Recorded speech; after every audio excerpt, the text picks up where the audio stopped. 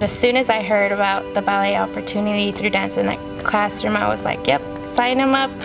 what do I need to do?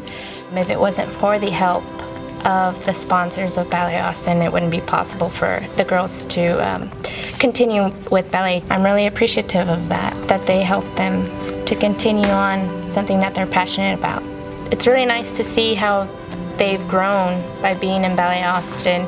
I'm so happy and grateful that they're able to do something that I wasn't able to do um, growing up. I didn't have the opportunity to do it, so it makes me happy. It makes me almost want to cry because the seeing them live a dream of mine when I was a child, I think that's wonderful.